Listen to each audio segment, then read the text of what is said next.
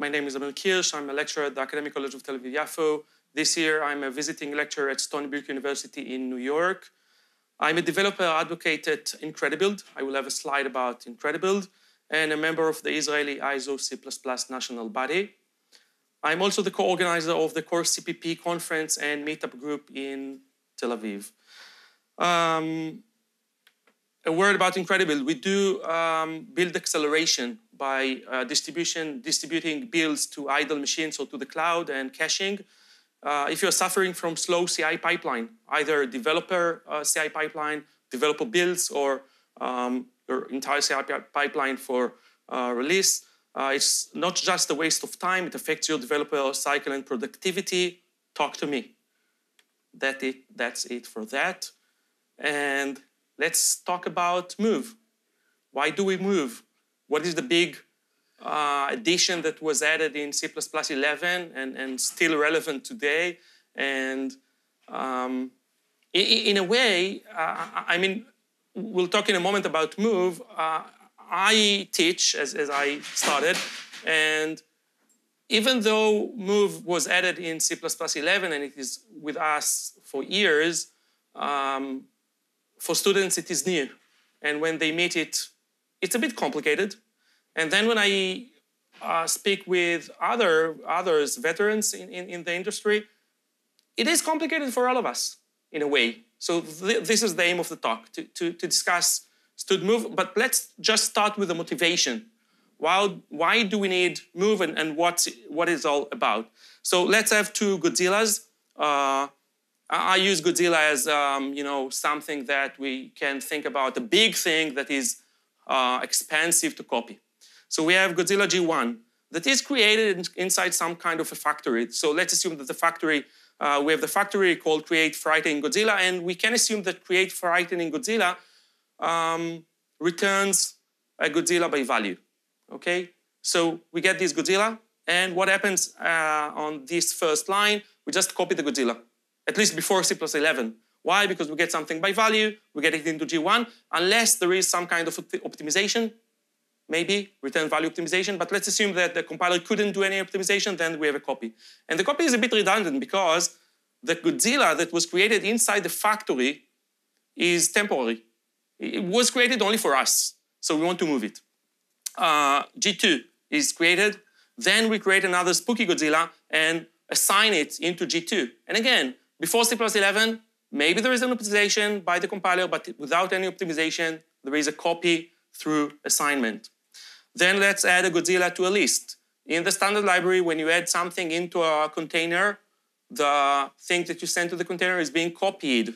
So when I create a temporary Godzilla the sweetie Godzilla uh, on the last line, this temporary Godzilla, unless there is optimization, is being copied into the container. The question is, why should I copy it? Why can I take just the object that is created? So I cannot actually take the object that is created uh, as the Godzilla sweetie or the factory create farting Godzilla or create spooky Godzilla, but I can take their assets.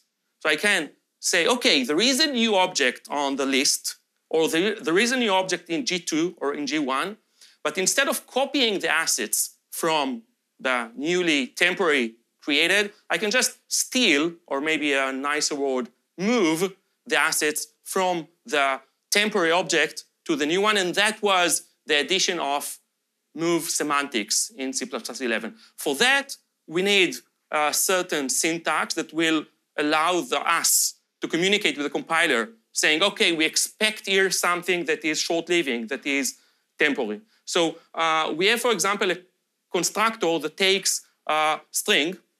In the first one, in the first example, string by value. And in the second one, we use here the newly added C++11 syntax of R value uh, reference. That they were hesitating how to uh, symbolize R value. And they said, okay, we're not using ampersand enough in the language, so let's have two ampersands for R value, which means, okay, the string on the second constructor is an R value, is a temporary that is going to uh, die. So the, uh, we'll have an interactive session in which I will ask you questions. And we start with this first question. What will be called in these two calls, in these two constructors? So we're getting in the first one a, a string by value, in the second one a string as an R value. In both, we pass it to a data member called name, which is string, okay? And then the question is, would we have a copy or a move uh, in which, uh, in each, a copy, a move? So I hear A, copy in A and move in B, because yeah, in A it's by value. So in a way, maybe we should copy. I hear a C. So the, the actual answer is C. This was, don't count points on that one yet, okay? Um, you, you will count points from the next question, and then I will ask how many got like all points, all, all answers correctly. Uh, the reason that it is copy on both sides is because once you have a name, you're considered as an L value. You, once you have a name, the A name or B name as, uh, as uh, parameters, as arguments that we got, have a name, which means that the compiler says, okay, you may use A name and B name inside the curly brackets. You're not, but you may. Maybe you'll add it some sometime later. So once a variable has a name, it is not longer considered as an R value. So it means that in order to consider it as an R value, you have to std move it. This is the reason for std move. So the correct way to do that is for both. I mean, in both cases, I know that I have something that I'm not going to use anymore. The first one is because I got it by value and I'm not going to use it anymore. It is mine. The second case, it's an R value and I'm not going to use it anymore. So in both cases, I know that I can move it, which means that what is std move? What std move does? It's a casting. It's a casting to R value. So in a way, it's a preserving casting that preserves const and volatile. If the variable was const, it preserves its constness. If it is volatile, it preserves its volatileness, but it just casts it to, to be R value because we asked to. So, okay, now the compiler will consider A name and B name as our values, and then since std string implemented a, a move constructor, so then we call the move constructor, okay? So if we um, want to know what is being called in, in each case, here we, we say that, okay, you call the move constructor. Why? Because we did the std move. So the argument is our value. So the table, uh, we'll see the table in a moment, but let's ask another question. Count your points from this one. What is being called here? We have a constructor now, and we do std move. Now, there is something bad here because we actually got an L value reference. I mean, you are moving from an L value. But then the question is, if we actually do that, would it be a move or a copy, or maybe the code would not compile, or maybe it's compiler dependent? What do you say? I, I here, here would not compile. Any other thoughts? Okay, so count your points, okay? Decide what you say, and the answer is it will compile and copy.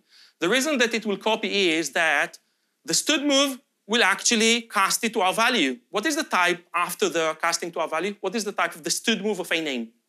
Const R value. Const R value, because const is preserved.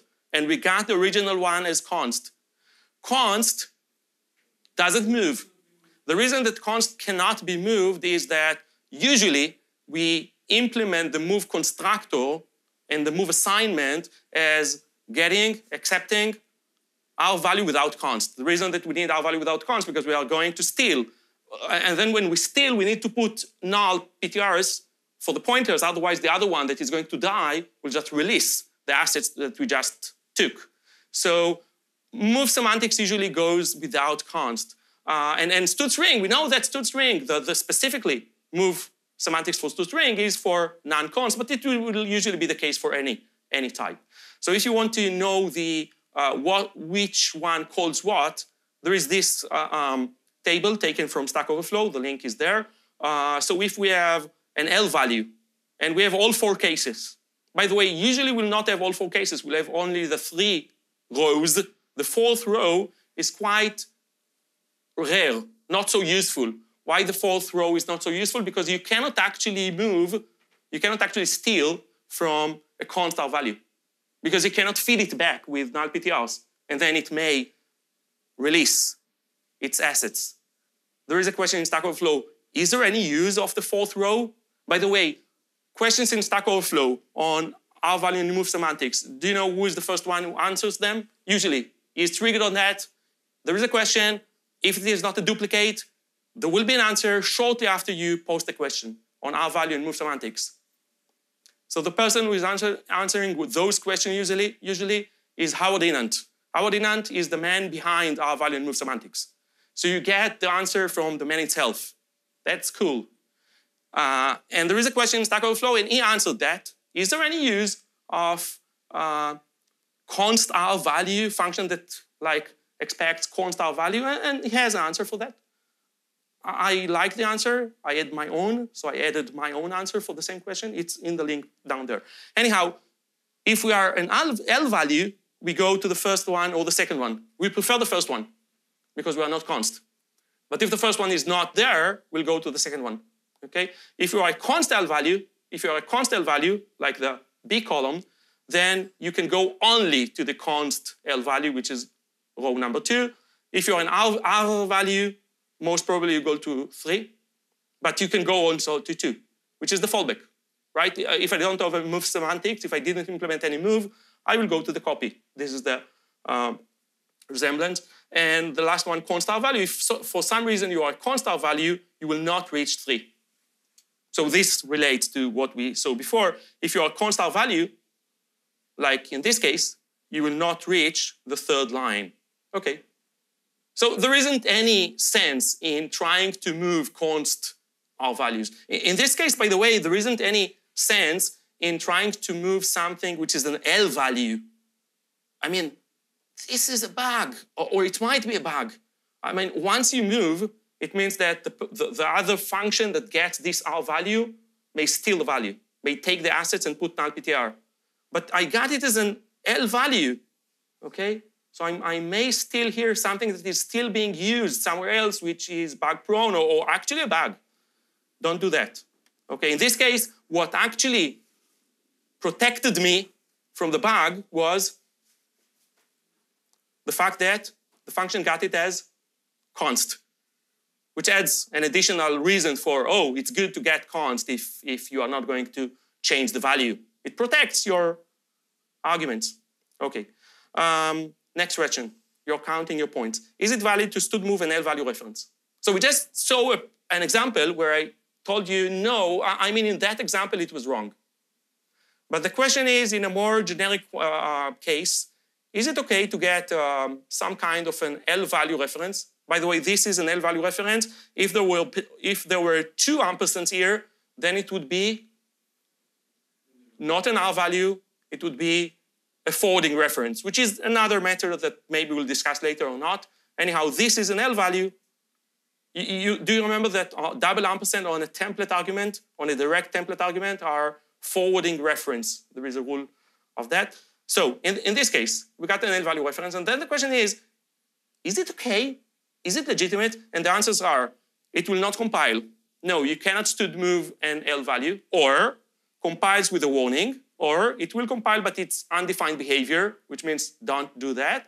Or D, yes, it can be legit in some cases. Cast your votes. What do you say?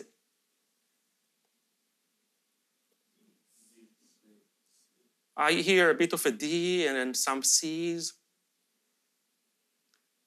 The question is like on some cases, uh, it might be that in some cases it is not legit, maybe in other cases it is, do you have in mind any specific case that it is legit? That, yeah, this is what we do. Yes. The answer is D, and the example is swap. Swap actually moves since C plus 11. Since C plus 11, swap is much more efficient than before because if you want to swap two vectors before C plus 11, they would have been copied through a temporary third variable since C plus 11, uh, uh, um, unless there is some kind of uh, maybe, uh, is there any swap uh, um, overload, specific swap overload before C plus 11 for vectors? There is, the, the, this is an interesting question. It might be. It might be that it would have been implemented as a specific overload for vectors, might be. Anyhow, you don't have to implement your own specific specializ- uh, it's not specialization, overloading for a type that wants to move. You just move the arguments. So here, I just move LHV and it is okay. Why is it okay? Because I know that even though you sent me something that you may still use, don't worry. When I'm out of the function, you have a legitimate argument, you have a legitimate object there, which is the other one. I, am just assigning something else. If I know that I'm going to assign something to you, why should I copy the old value? I can steal the old, old value. The old, you will not use the old value. I'm going to override it with another one. So std swap is an example. But you may have other examples for cases where you do want to move from an L value because you know that you are going to override the old value right after. So no need to copy. Be cautious with passing by value. There is a known um, say saying that if you want to copy, pass by value since C++11. Why? Because once you pass by value, then the compiler takes care of copying. And then you can take the copy that was created by the compiler and move from it, which then, in a way, accommodates both cases. Either that originally the value that was passed was an L value, so the copy was created by the compiler, I mean, as, as passing the argument, and you just moved from the copy. And it also accommodates the case of, oh, the original was an R value, in which case, there, in which case there isn't any copy.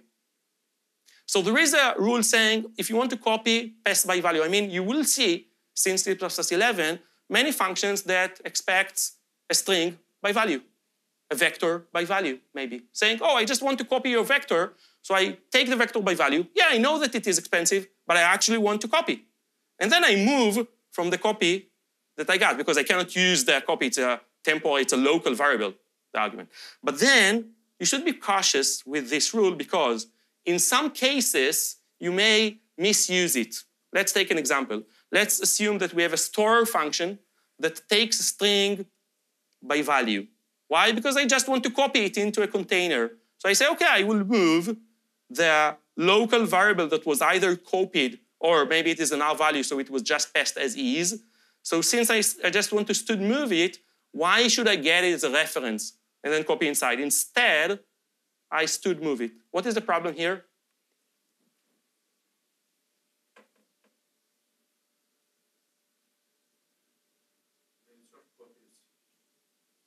Again? The insert copies, yeah, uh, but, but the insert here gets an R value, so I mean, I'll be using the, the this one. The, the, the problem is that we copy when we get into the function, okay? So the insert there is an insert for uh, uh, set. There is an insert for set that actually would not copy here because I mean I got here an R value. Okay, there is an overload for an R value. The problem is that we copy even if the original string or the string that I provide is already in the set. Now, if, if the string is in the set, I will not add it. It's a set. So I actually pay for the copy even in cases where, oh, sorry, it was there no need to copy. So I can actually implement that. And there are other cases where you see, oh, you get it by value. Why? Uh, because there is a rule saying if you want to copy, you can pass by value. Yeah, but you're not copying in all cases in your function. So you actually pay for the copy even for cases where you actually don't need the copy. So again, take, uh, you know, think about that. There is a nice um, um, talk, uh, which I think I have the PDF by Howard Hinnant, the man himself, on the inefficiency of uh, copy and swap idiom. The copy and swap idiom takes uh, the same uh, logic of let's take a copy and then swap as implementation of both move and copy assignment. And then Howard Hinnant comes and shows that, yeah, but it is a bit less efficient. Okay? So the rule of if you need a copy paste by value is fine, but it might not be as efficient as, what is the alternative? Okay, yeah, you convinced me. It might be that I don't need the copy. So what is the alternative? Take it by reference. But then if I take it by reference, as a const reference, then I will have to copy it even if it is an R value. Because if I take it as a L value reference, then I don't know whether the original was an L value, I get it as an L value, okay? If I get it as a const L value. So I will copy inside, okay? So uh, other option. So you can either have two, both R value and L value, or forwarding reference. So there are, there are two options. One option is to say, okay, I'm getting, I, I'm having two. I will overload. One for the L value case as a const. And then I will insert. And this call to insert will create a copy. If there is a need for a copy, that's okay. And the other one is, okay, you'll get it as an L value, and then you would still move, do both. The same as you implement both copy constructor and move constructor. Or, if you want, then you can take um, uh, T as a double ref, and then for a T as a double ref, you can say, okay, I inserted with stood forward to preserve its original value, its original reference type. Either it is an L value or R value, okay? Uh, this is what stood forward does, uh, which means that in a way I implemented once for both these two. Now, uh, since I want here to get only strings, for some reason, then I uh, narrow that, I, I, restrict that with C++ 20 requires clause to be a convertible to a string. I mean, without that, it would still work because the, uh, the set is set of strings, but I will get the compilation error if it is not a string as a compilation error inside the function. And in a way, I prefer, I prefer to get the compilation error on the call to the function and not somewhere inside. But you can, you can remove the requires if you are before C++ 20. So this was on passing by value. Okay, uh, if I compare the alternatives, so uh, the, these are the alternatives by value. By value, you will pay for a copy for the L value, okay? And, and the, the, the idea here is that the string was already in the set. Okay, I'm inserting an existing item. Because if it is not an existing item, then I need the copy anyhow. Okay, so for the by value case, if you send an L value, you paid for the copy, even if you didn't need that. If you go for a const ref for both, a const ref for both, then the L value, you know, yeah, I, I got it as a const ref. I, I, I mean, I pay for the copy, but I needed that. But for the R value, I pay for the copy where, where I didn't need to. I could move. Uh, if I get uh, a both, then I do only the move on the R value. Uh, and here I, again, do only the move. So um, th there is a link here that can show the cases. Um, and eventually, yeah, you, you, should go with these. Um, what's wrong here? I have a function called uh, uh, for, for um, concatenating two strings. Um, I'm using here my string instead of the stood string uh, because if I want to check what actually happens, maybe I want like some printouts inside the copy constructor, move constructor, destructor, etc. Okay, so it behaves exactly as string, but I just want to have some more traceability. Um, what's wrong here? I'm doing some kind of things in order to concatenate, and then since the string was created inside the function, I just move it out. And the answers are nothing, the code is fine. B, returning a dangling reference. C, a performance issue. Maybe you can do it better. And D, code doesn't compile. What do you say? I hear hey, and I heard also D.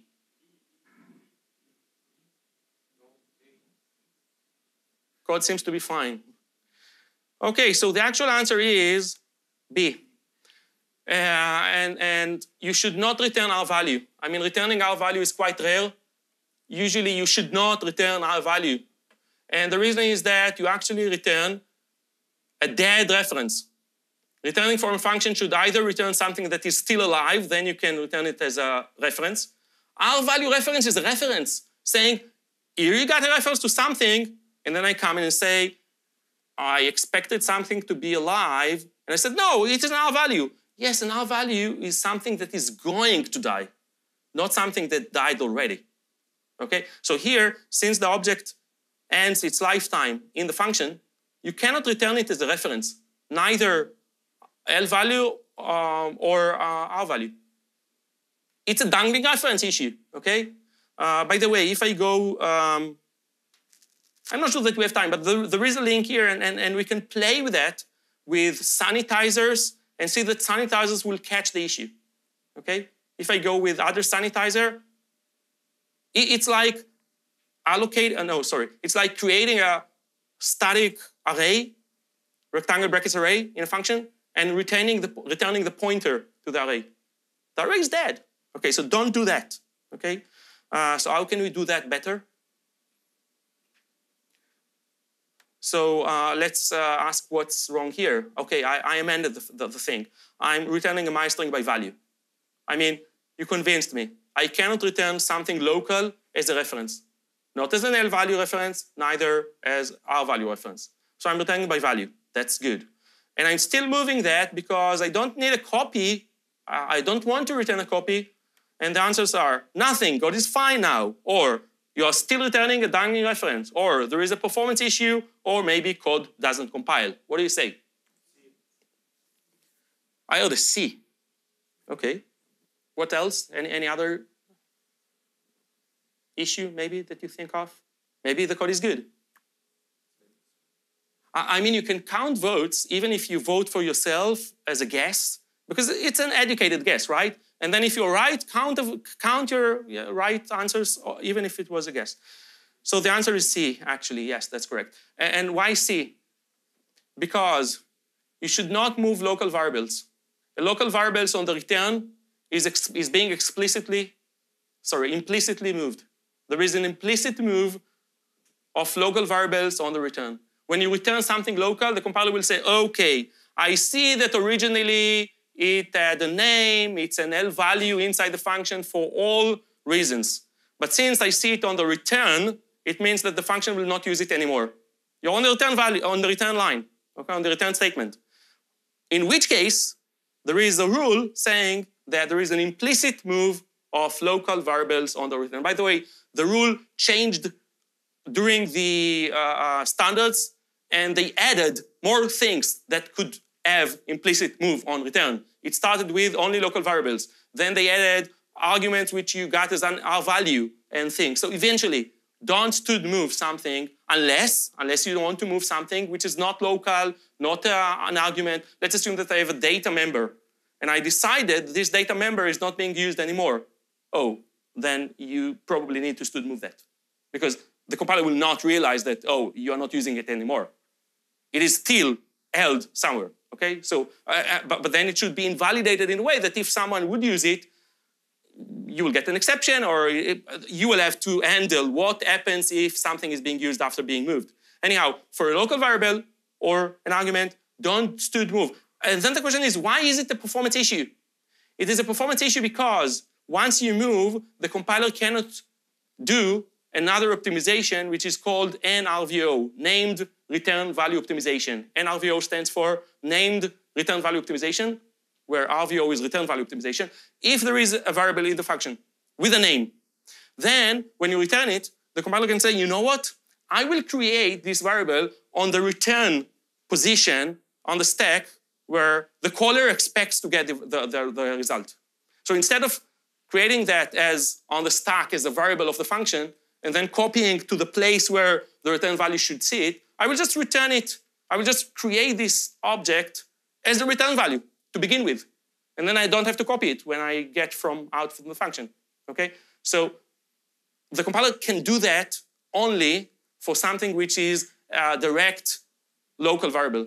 But once I do a std move, then it was not something that was in the function. It's a new thing. There is a casting. So the compiler cannot do an RVO. And then I pay for move where I could have no cost. So no cost is cheaper than paying for move. Don't do that. It will work. It's like a pessimization. Okay, so the, the right way to do is just to um, return it as is. You have a local variable, you want to move it outside, don't worry, it will be moved.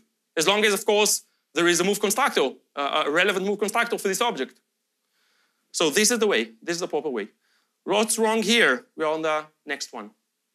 So I have a stack, okay? I decided to implement my own stack here in this slide, and the stack holds a vector, and in the push function, I'm getting something. By the way, a question, is this T double ref an R value reference, or is it a forwarding reference that was also called in the past universal reference? So I hear R value, even though there is a double ref on a T template argument. And this is the right answer. This is an R value reference and not a forwarding reference. A forwarding reference is a reference that the compiler say, you know what? It can either be an L value reference or an R value reference, which is a result of reference collapsing rules that we'll put aside. Anyhow, when you see double ref on a template argument, in some cases it is not an R, double ref is not an R value, it's either R value or L value, which we call forwarding reference. But it has to be on the direct, exact template argument of the function. If you add anything on that, like it is a const t, oh, now it's not a forwarding reference because you said something about the t. You said const. Or if it is not on the direct template argument of the function, like this case, it's not the template argument of the function. Where t comes from? From the class. So when you reach the function, when the compiler reaches the function, the compiler knows what t is already. So t was like deduced for the class it's not a direct template argument of the function, in which case here t is the actual type and the double are R value. Okay, they stand here for R value. Yeah, C++ is complicated. So then the question is, can we take this R value and th th then maybe instead of forward, you should not use forward. I mean, forward, saying forward here is, is the same as saying, is saying move. Because we know that T stands for an R value. Okay, this is one thing, okay? But let's assume that we say move. Is it okay or is there any problem? So here are the possible answers. T double ref in push is not a forwarding reference, thus compilation error. Would it be a compilation error? Or maybe B. Uh, the T double ref, uh, the T we know, R value reference, is not a forwarding reference. Yes, we know that. Thus, we support only push of R values. Or push may add to the vector a dangling reference, maybe. Oh, maybe this is the issue. Or D, push may inefficiently copy. What do you say? Read that. I'll give you one more minute or two. You have to think about that. The answers are longer than, than the code.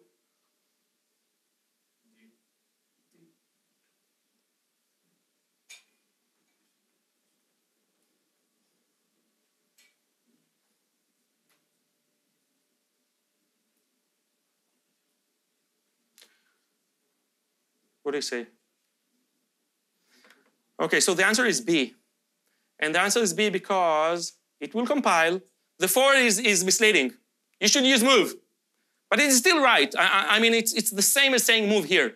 When you forward an R value reference, you actually say preserve its R value references. Um, keep it as an R value, which is like saying move.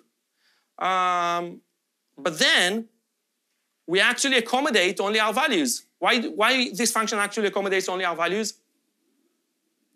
Remember the table? Let, us let, go back to the table. We, we have a function that expects R value, right? This function expects R value. Let's go back to the table. This is the table. We have a function like number three. Who can go into number three?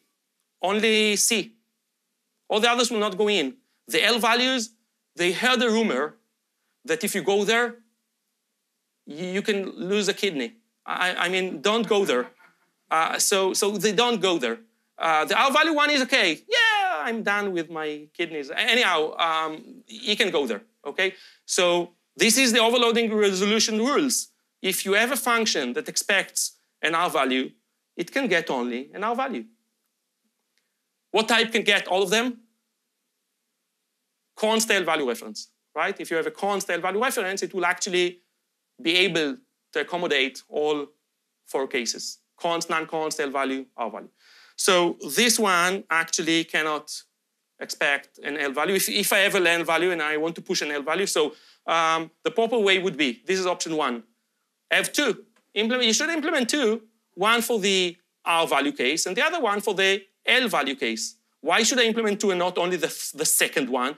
Because if you implement only the second one, then you are not so efficient because you always copy. Because pushback, I'm writing here on the overload resolution of pushback. There are two pushback in vector, one for R values and the other for L values. which the one for the L values copy and the one for the R values move, right? So I'm writing on that. I'm saying, okay, I will use the pushback with R value, and here I will use the pushback for L value. This is one option. Can you imagine the second option? Can you guess what is the second option?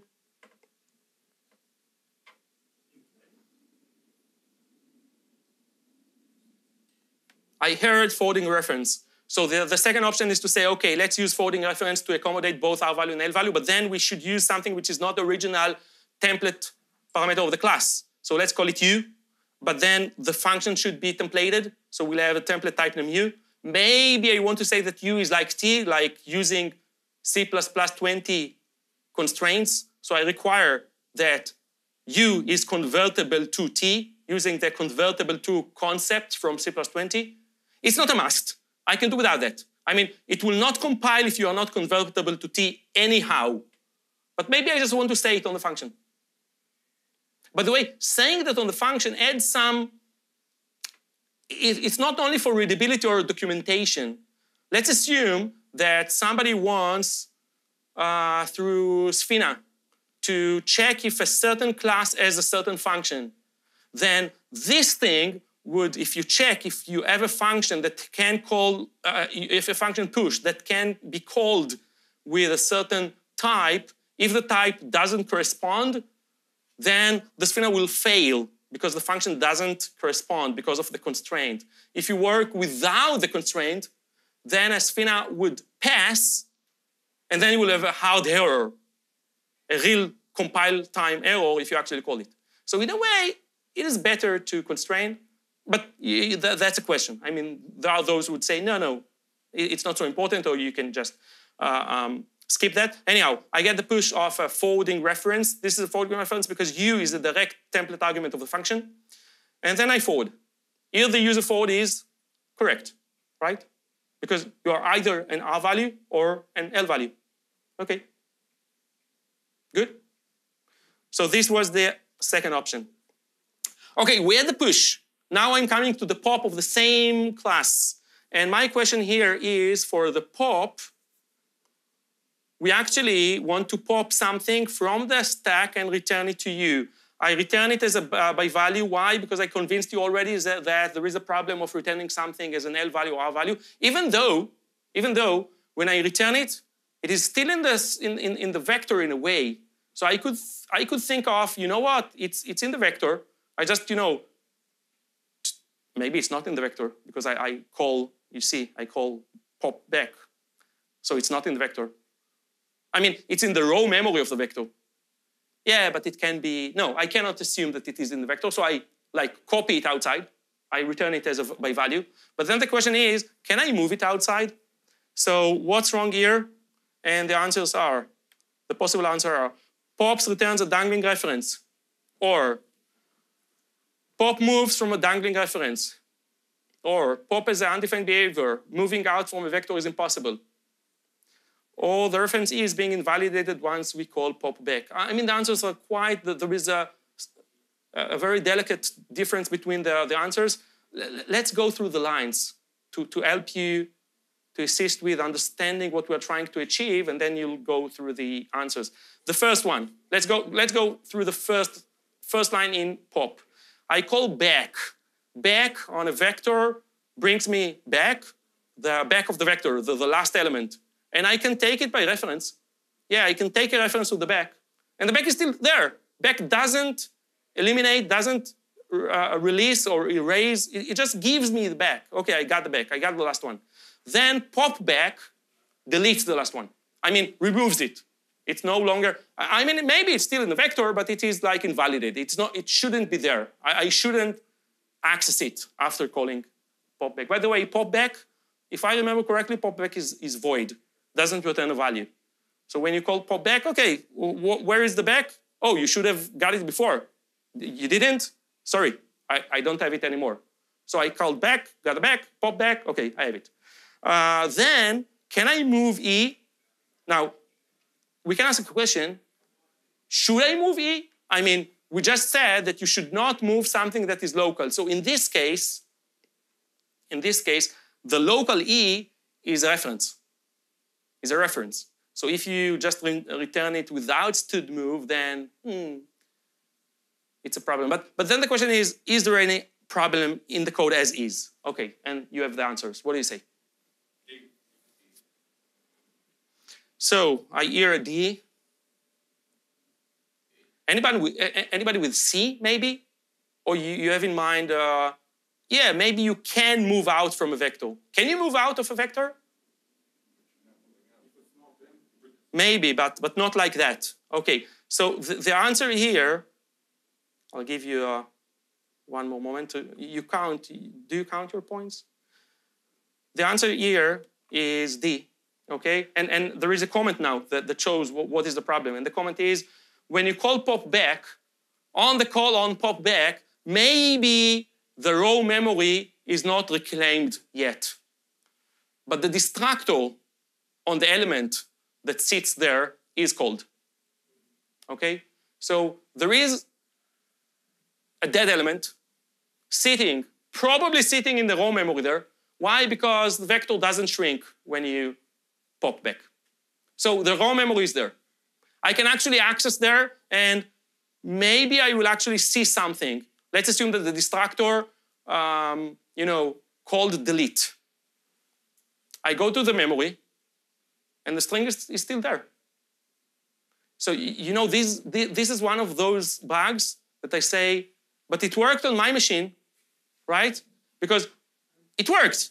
I got the string, and the string was there, I used, and, and nothing. By the way, sanitizers may find it or not, okay? But it might be when you call delete and you actually call, I mean, you reclaim the memory back to the operating system it is not that someone comes with a bleach, you know, and, and uh, cleaning it all. No, the string is there, but the memory can be reused. It's like a question in Stack Overflow that was something somebody used a dangling reference and asked, but it worked. How come? And there is a very nice answer there. Maybe you, you, you know that. Great answer. I, I really like this, that answer. Uh, you can think about anybody who stays in the hotel, it's about hotel. Let's assume that you check out of your hotel room, okay? And then after checking out, you realize that you still have the key with you. And then you realize that, hey, and I forgot a book in my drawer in the room. But I have the key. So let's go and take the, the book. Now, a few hours just, uh, you know, passed between. Maybe one hour, maybe less, maybe more. I go back to the room. Would I find the book there in the door? And the answer is maybe. It's undefined behavior. And I go to the drawer, I open the door, I, and the book is there. And I read it, and something strange. I mean, a, a, a different plot. It's not the same book. Somebody else came in, took my book, threw it to the garbage, and put another book. And yeah. Or maybe I go into the room, and I just fall down 10 stories down. Why? Because they're renovating the, the hotel and you shouldn't go into this room. You have the key, okay? Maybe they forgot to invalidate the key. So it opens the room. Usually the key is just invalidated, but yeah, it opened the room. But then anything can happen. Maybe the drawer is not there. They just rearrange, rearrange their furniture in, in the room. So anything can happen. But if you actually, if you actually found the book and, and you know, maybe even you have your uh, marker located in the right spot, don't count on that to repeat every time that you try that. Okay, so this one may go, but no, it's undefined behavior. I'm returning here and a distracted element. It was distracted when I called pop back. Don't do that. Okay. Um, I think that these are, I, I point here to other Stack Overflow questions, but not to the one with the hotel. But if you look for Stack Overflow, invalidated pointer, hotel, room, whatever, you find it, it's a great, it's written much nicely than I described it. Uh, so the proper way is to, first, move the back. When I call back, I get back a reference. Then I can say, you know what, I want it to be an R value reference. And then I don't pay for a copy here. Okay, I just move it to a local variable. It's not, and when you move it from, to a local variable, what happens to the, in, to, to the object that set that was in the vector? it's invalidated. Can it be distracted? Sure. An invalidated object must be able to be distracted. This is a rule. After being moved, the old element that was moved will call a destructor at some. And the destructor should be able to distract it correctly, which means this is why we put null PTRs in, in the pointers. But it will not release my string because my was already taken. I, I stole your assets and you have null PTRs. So I have the proper string on my side as a local variable. Then I can return it as is, implicit move on return, and I can just call popback. This is the right way to use move semantic. By the way, if I don't do, if I do not do the std move, then my code is less efficient. And in many cases, we forget to do the std move on something that can be moved because we know that I will not use it anymore. And the compiler cannot optimize that. The compiler cannot read your mind. The compiler cannot think, oh, I see that you are not using something anymore, so let's move it. No, optimizers do not do that. So uh, if you do not call std move here, you will actually copy. Um, and, and uh, by the way, would uh, static code analyzers find out if you forget to call std move here? Not yet. I mean, maybe there are some that does. Uh, I tried that with Clang Tidy. Do you know that you can run Clang Tidy inside Compiler Explorer? There is a, a talk by Matt Godbolt. Maybe we'll talk about that. Anyhow, let, us press that so you'll see. I can open in Compiler Explorer. Um, and you'll see Clang Tidy should be opened here some. I, I opened Clang Tidy here and it should come out. Yeah, and it, it, gives me all kind of warnings on other things, on other things like um, don't use to the end line, use backslash n instead. You should not flash, whatever. But not on the thing that I do not use move when I should have used move. Okay, here, oh, oh, the proper way, but I also show the non-proper way. Anyhow, no, it just misses that. Uh, and the same, I, checked that in, in, the past with other static code anal analyzers. It might be that they can, it might be that they will, but manual code review is still required. Um, a side note, implementing move for getting noexcept. Do you remember that you have to do a noexcept on a move constructor and probably also on move assignment? What happens if I forget the no except? A move constructor should not throw an exception. But if you forget to say the no except here, then the compiler cannot know whether the move constructor may throw an exception. And vector, when, when, when you uh, call pushback to a vector and the capacity is exhausted, so there is a need to take all the old objects in the vector and move them or copy them to another location. Should the vector copy or move the old objects to the new location, to the new allocation? It should move. I mean, I don't need them anymore on that side. I need them on the new allocation. It should move. Why it cannot move if I forget to say no except? Because if you get halfway through and you throw an exception, it can't put them There is an uh, issue. If, if I try to move and then move throws an, throws an exception, then I'm halfway through. I moved part of them then it would say, okay, so just move them back. No, move can still throw an exception. I'm in a zombie state. Part of my vector is here, part of it is there. I mean, I can go back in pushback with an exception saying I couldn't move. I, sorry, I couldn't do the pushback. That's, that's legit. But the user would be quite upset if I say, I couldn't do the pushback and your vector is ruined. Okay, you couldn't do the pushback, but why did you ruin my vector? You know, things happen. No, it should be stable.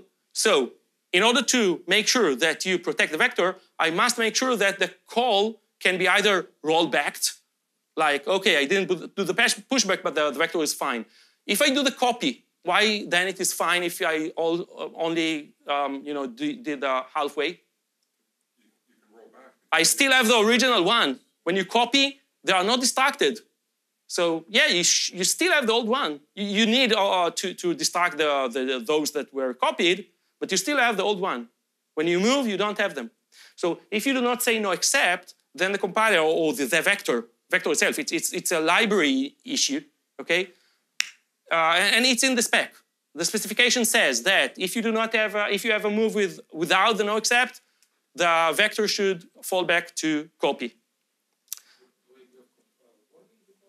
Uh, it might be. It might be. It might be that uh, static code analyzers might find it. Okay. Anyhow, just don't forget no except. Oh, I have another better suggestion, better recommendation.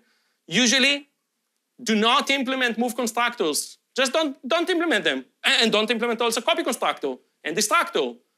Go with a rule of zero. Most of your code should go with rule of zero. 90% of your code should go with rule of zero, saying, I'm not managing resources. I'm working with classes that manage resources. But it's not me writing these classes. It's infrastructure team, not me. Or it's the standard library, or it's another library. And then if I do need to implement a class that handles resources, it should handle one resource and not five or six or 20, like decoupling, okay? And for this resource, yes, I will implement move semantics. Let's continue. Uh, so I have here the, um, uh, you can run it, you can, you can check it, okay? There is a link uh, with both options. You'll see that if you call in a loop the left one, you will see a move. If you call uh, in a loop the right one, not, not in a loop, you know, you just do a pushback to a vector that has 20 elements, you will see 20 calls to copy on your object, on your object. And if you have a no except, you will see 20 calls to the move. Why 20 calls? Because the, the vector needs to move the 20 or whatever, 16 that were there already. Okay, last one. Um, are you ready? You can still earn points. Uh, what's wrong here? I have a my max function. Getting two here, is it a forwarding reference or a, um, R value? a forwarding reference. How can you tell? Because T is the direct template argument of the function. So we have two uh, forwarding references, and then we check whether the B, B is lesser than A, then we'll return A, this is the max, otherwise B. What's wrong here? Oh, uh, answers. I don't have answers for this one. It's an open question. You can just shout out. Shout out.